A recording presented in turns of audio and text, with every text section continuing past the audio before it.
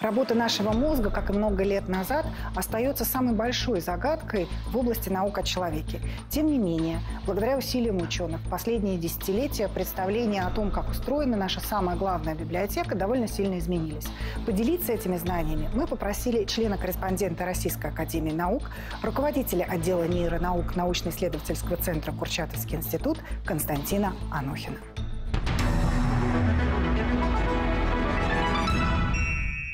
Здравствуйте, Константин Владимирович. Спасибо, что пришли в нашу программу. Добрый день. Константин Анохин родился в Москве в 1957 году. В 1980 году окончил лечебный факультет Первого Московского медицинского института имени Сеченова. В 1984 году защитил кандидатскую диссертацию в НИИ нормальной физиологии имени Анохина.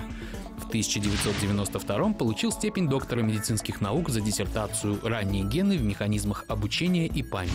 С середины 80-х годов исследует молекулярные, клеточные и нервные механизмы памяти, ее формирование, хранение и излечение. В последние годы ведет исследование биологических основ сознания.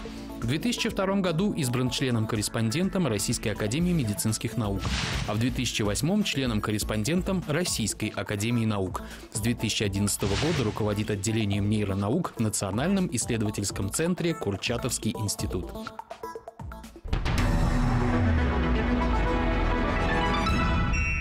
Вы и ваши коллеги, когда рассказываете об устройстве мозга, а, как правило, вы рассказываете о таком месте, где у нас хранится информация.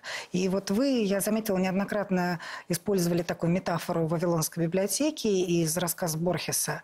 И, в общем, людям, которые не связаны с наукой или с нейробиологией, им как-то легко понять, что, ну да, вот есть место, где у нас в организме складываются какие-то кусочки информации. Но, с другой стороны, каждый из нас, э, помимо информации памяти, запоминания, мы еще всегда думаем, что вот наше сознание связано с такими вещами, как там, память чувств, э, душа в конце концов. Вы вообще такие вещи не рассматриваете в ваших исследованиях? Они для вас просто вне науки? Нет, это ошибка. Э, вы понимаете, во-первых, метафора любая имеет свои границы. Это всегда способ объяснить что-то. Это не модель. Метафора мозга как большой телефонной станции не означает, что это большая телефонная станция, как суперкомпьютера, что это не суперкомпьютер. Мы хотим понять мозг как мозг. И Вавилонская библиотека, она тоже несет какую-то идею, которую нужно объяснить. И основная идея метафоры Вавилонской библиотеки, э, их две на самом деле. Первое, что э, Вавилонская библиотека безгранична, как считал Борхес – она, э, ну, энтузиасты посчитали, что она на невероятное гиперастрономическое число степеней превосходит размеры видимой Вселенной. И наш разум, наше сознание, наша душа, если хотите, имеет такое количество степеней свободы, она может создать такое количество миров в себе, которые нельзя сосчитать. Э, в ней содержатся все образы того, что мы видели каждую секунду. Она может генерировать то, что мы видим, это то, что создают эти клетки мозга, эта библиотека. Э, все восходы и закаты, все кадры фильмов, которые мы когда-либо видели, все мелодии, которые мы когда-либо услышали. И более того, поскольку мы можем это воспринять, все восходы и закаты, которые когда-либо человечество сможет увидеть, или все фильмы, которые когда-либо оно сможет увидеть, все книги и поэмы, которые когда-либо сможет прочитать. Это бесконечность. Есть еще другая, конечно, сторона, когда вы сказали про память чувств, что Вавилонская библиотека это может вводить в заблуждение. Это текст, это что-то, что хранится. И наш разум и сознание – это первое, что мы способны в нем э, создать как некий образ.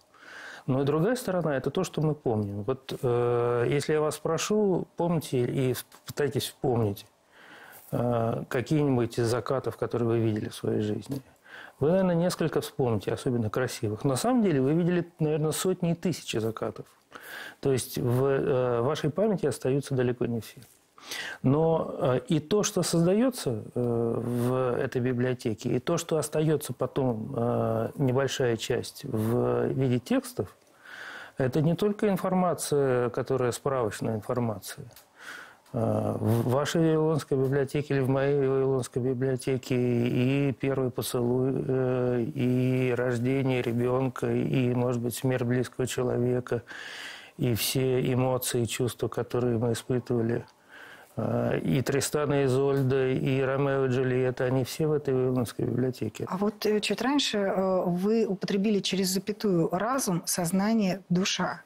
Вот э, в истории культуры, в истории искусства, в истории литературы традиционно противопоставляется разум и душа.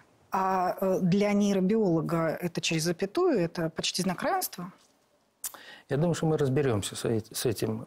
То, что мы называем разумом, Э, это некоторая структура, которая есть у нас, э, и мы несем и храним ее в любое время, даже когда мы находимся без сознания. Например, во время э, глубокого сна без сновидений. Сознание – это процесс в этой структуре. Вот когда она активная, там что-то происходит, то наш разум бодрствует, мы находимся в сознании. Душа поскольку это очень древнее э, понятие, оно в себя очень многое включает. Оно более сложное, конечно. Когда мы говорим, что душа отлетает во время сна и возвращается, как древние греки, там, в момент пробуждения, то мы говорим, наверное, о сознании. А с другой стороны, душа содержит все наше «я». А, нам трудно представить э, понятие души без того внутреннего содержания. Я думаю, что на самом деле душа – это и э, та часть э, нашего разума, которая структура, которая не просто рациональна, она эмоциональна, но это все, что есть накоплено нашим опытом, наш субъективный опыт. Есть продукт работы нервных клеток. А, я могу это сказать другим образом. Нет мозга, э, нет души, нет психики. Э, наш мозг умирает, душа не остается. Мы – это наш мозг.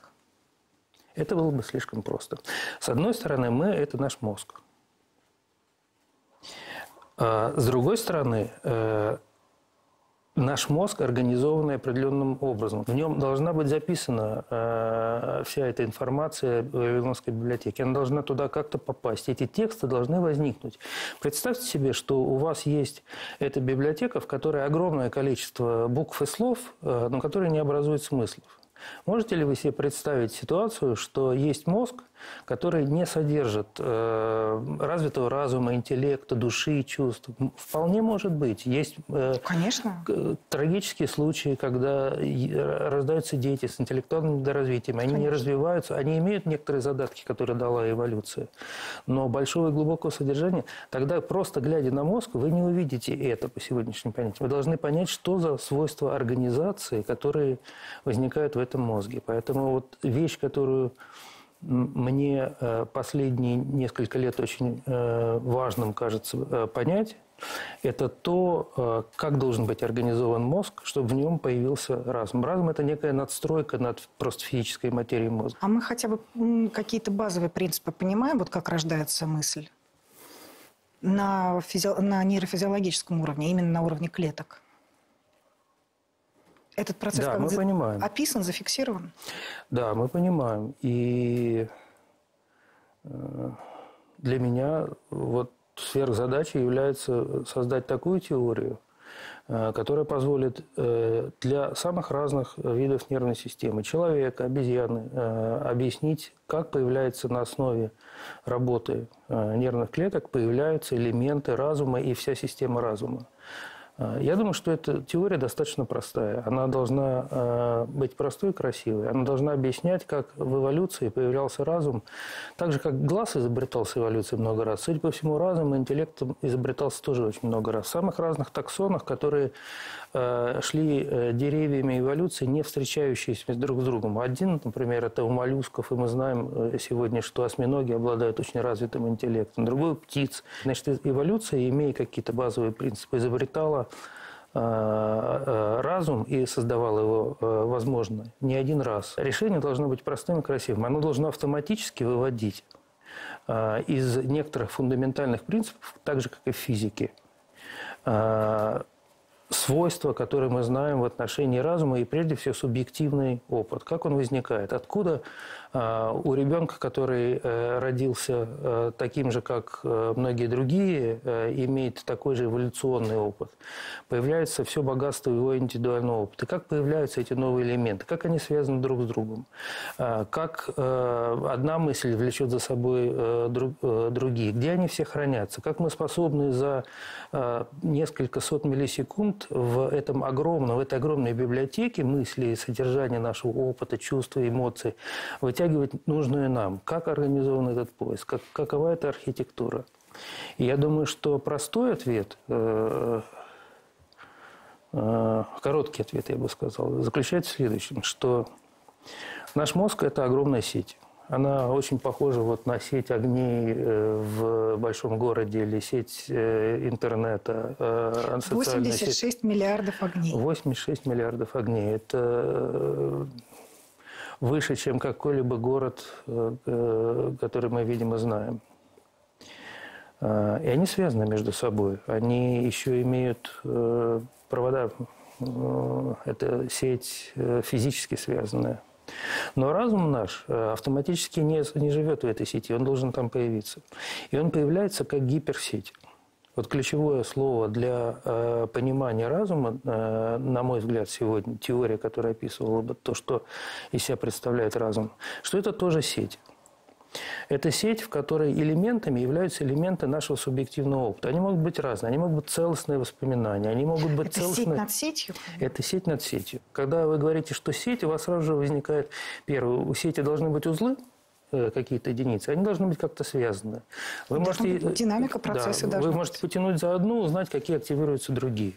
Когда я вам скажу, там, Том Круз, вы э, э, вытащите из памяти фильмы, которые вы видели, может быть, э, девушки, с которыми он был знаком, эпизоды, в которых вы... Э, дальше вы можете вспомнить, когда э, вы смотрели эти фильмы, что с вами происходило, с кем вы в это время были.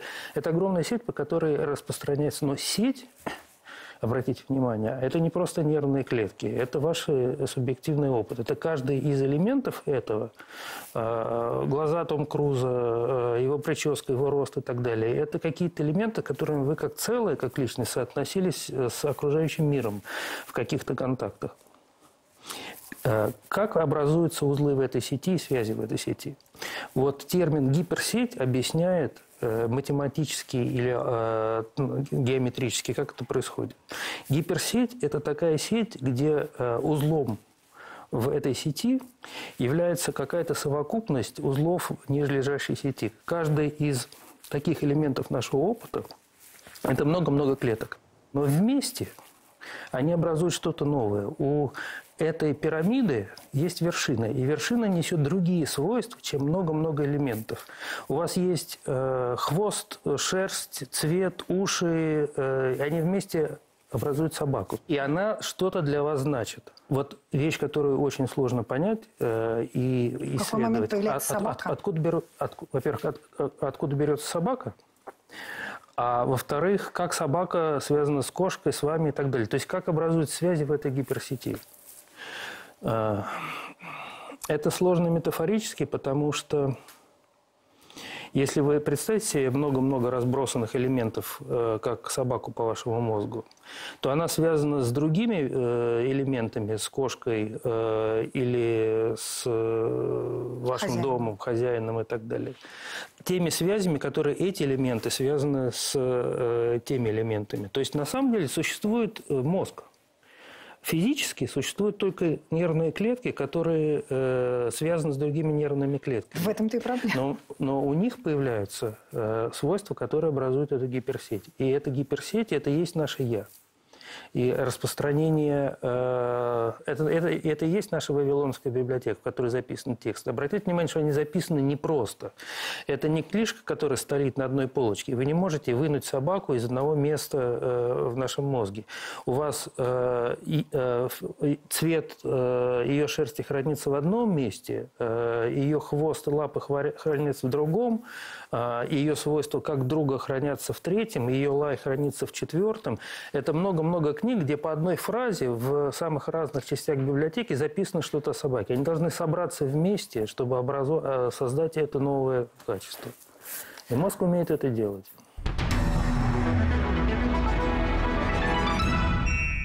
Однажды э, мой сын, будучи где-то в классе в пятом-шестом, э, когда э, он осознал, ну, как и все ученики в этом возрасте, осознают процесс развития человеческой цивилизации, и в данном случае он понял, что в России это примерно от петровских времен, когда он понял, что вот последние 300 лет это был потрясающий взрыв, а туда, назад, это тысячи и тысячи и тысячи медленно, медленно, медленно. А, он нас спросил, это правда? Мы за 300 лет так развились? И ничего не было раньше. И вот 50 лет назад не было ни компьютеров, ни телефонов. Сказал, правда. И он заплакал. Я спросил, почему ты плачешь? Он сказал, почему так неравномерно? А, если говорить об эволюции мозга в таком вот нейрофизиологическом смысле, это как было? Это тоже вопрос, которым сегодня очень активно э, занимаются э, нейробиологи и молекулярные биологи, э, потому что э, мы имеем некоторые летописи, по которым мы можем восстанавливать этот процесс. Мы можем сравнивать э, себя с нашими э, относительно недавними предками, с которыми мы разошлись. Мы знаем эти геномы, мы знаем, как в этих геномах закодированы гены, которые отвечают именно за развитие мозга, потому что они имеют специфическую экспрессию и нужны для того, чтобы наш мозг сформировался во время индивидуального развития. Тогда мы можем задать вопрос, сколько изменений произошло за то время, когда мы разошлись, например, от шимпанзе, а, и где они произошли, и что э, за счет этого возникло в мозге. То есть это исследуемый процесс, э, вопрос.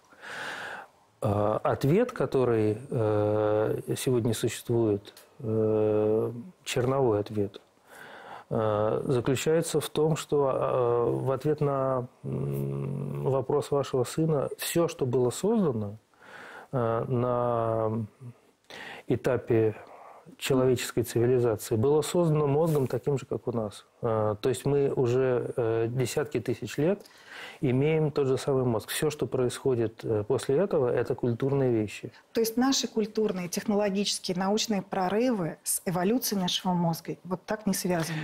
Э, если бы э, оказалось, что за время развития человеческой цивилизации, ну, за несколько тысяч лет, например, какие-то вещи перешли в наше биологическое наследство и стали частью мозга, которая э, создается теперь врожденно, а, то это было бы крупнейшим переворотом в понимании механизма биологической эволюции. А, пока мы знаем, что биологическая эволюция не поспевает за темпами того, что возникает за счет культурного наследования.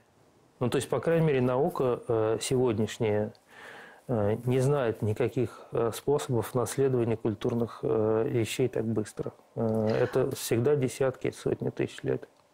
Кстати, Владимир, а как вы э, объясняете вот э, эти параллельные, получается, абсолютно параллельные эволюции э, нашей цивилизации и э, ну, человека как биологического вида? Потому что, скажем, вот если посмотреть на то, как люди сами себя описывали, описывали окружающий мир, да, то э, от первых каких-то попыток осмыслить на уровне наскальных рисунков потом создаются развитые довольно э, серьезные картины религиозные мира и разные. Мы знаем абсолютно разные религиозные, и где-то они похожи, где-то они отличаются. И потом а, наступает новая эпоха, когда новые времена, ну это прежде всего там с эпохи Возрождения на Западе, когда все эти религиозные картины мира рушатся, и, и собственно, начинается научное познание, которое заканчивается тем, что вы сидите здесь и рассказываете о том, как устроен наш мозг. Как вы думаете, и при этом же вы только что сказали, что, в принципе, вот это все было создано тем мозгом, который мы уже имеем. Как это объяснить? А в чем За... проблема? А зачем все это было? А ведь эволюция не имеет вопроса «зачем?». Она э, всегда движется вперед, она исходит из того, что есть, так же, как и научное познание. Э, помните, э, как у Гёте Фаусте, что есть дорога? Дороги нет. Вперед в неизвестное. Вот как живет человеческий мозг и, и биологическая эволюция. Как вы относитесь к религиозному опыту ваших коллег, ученых, естественников? Довольно многие, допустим, физики, которые занимаются фундаментальными проблемами, там, космологией, да, устройством mm-hmm. Вселенной, они говорят, что либо ты смотришь на это как физик и понимаешь, что все намного сложнее, и тогда религиозный взгляд и опыт для тебя просто невозможен. Э, мне всегда казалось, что... И продолжает казаться, что разделение на нетелесную божественную душу э, и мозг приводит к тому, что человек, занимающийся мозгом, э, долгое время исследует его, пытаясь понять его. Особенно это видно на э, многих западных ученых, великих нейрофизиологах XX века – которые были Нобелевскими лауреатами, которые делали выдающиеся открытия. А в конце э, своего пути или даже в середине пути приходили к тому, что они задавались вопросом, э, а как все эти процессы, которые я очень хорошо изучил на уровне отдельных клеток, сигналов между ними, передатчиков и так далее, соотносятся с душой? И как душа входит в мозг? Если вы с самого начала не ставите вопрос, что вы должны э, в теории мозга одновременно э, объяснить и разум, что у вас должна быть теория. Вот для, для, в русском языке я недавно для себя открыл это. Есть э, прекрасная возможность сказать, что то, что мы должны понять, это мир. Мир большими буквами. Мозг и разум. Вы должны понять, что такое мозг, что такое разум. Вы должны понять самое сложное. А и Б сидят на трубе. Вы должны понять И связь. А, и это описывается э, большими буквами «мир». Вот если вы не ставите проблемы понять, что такое мир, а долго работаете э, с мозгом, а при этом являетесь личностью, э, у вас есть своя система ценностей, пониманий, вопросов, то через некоторое время оказывается, что вы накопили очень много в одной области, но оно совершенно не связано, и вы остаетесь э, в ситуации. Кстати, очень многие физики не принимают идею эволюции, то есть не понимают. Она... Идея эволюции же ужасно сложная. Это идея часовщика, как одна из метафор. Если вы находите э, в э, листве часы, если вы находите камень, то вы ударяете и отбрасываете. Если находите часы, то у вас возникает вопрос, откуда возникла такая сложная вещь, где часовщик. Если у вас нет идеи эволюции, что э, этот часовщик, который работал э, миллионы лет э, миллиардами проб и ошибок, и это собралось постепенно, то это выглядит чудом. Вы в своих интервью отмечали, что э, ваш дедушка Петр Кузьмич Анохин, он оказал на вас довольно сильное влияние на ваше формирование как ученого, но в свою очередь его-то биография научная а, была полна встреч, встречами, взаимодействиями с людьми, в общем, выдающимися, чьими именами теперь у нас названы институты и научные центры. И это а, и Павлов прежде всего, Ухтомский, Бурденко. Он был знаком с Луначарским, Вишневским. Вот э, из этой блестящей плеяды, из научной биографии вашего деда, с кем бы вам было бы интересно поговорить? Кого вы выделяете как-то особо?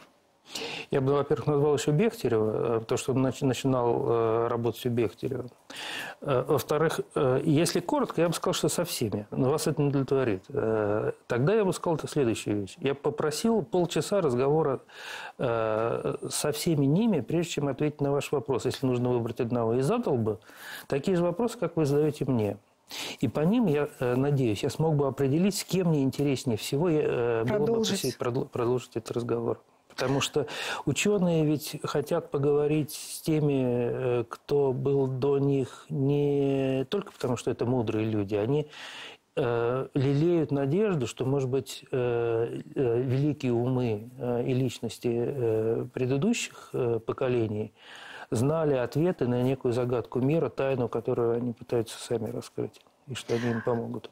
А с другой стороны, наоборот, э, вот э, Нобелевский лауреат, физиолог Павлов, он, э, вот ваш дед слушал в лекции, да, Скажите, а у вас сейчас есть какое-то знание, которое бы, по-вашему, для Павлова было бы важно и которое бы могло его поразить? Ой, конечно. Э, столько всего произошло. Я могу сказать так, что э, если бы мне захотелось сделать ему приятное и интересное, кроме таких вещей, я бы ему рассказал о том, что э, условные рефлексы, то, что его интересовало больше всего, мы сегодня можем и он говорил, что вы должны понять всю силу учения об условных рефлексах, если вы можете показать пальцем, где было возбуждение, куда оно перешло. Он был сильным материалистом.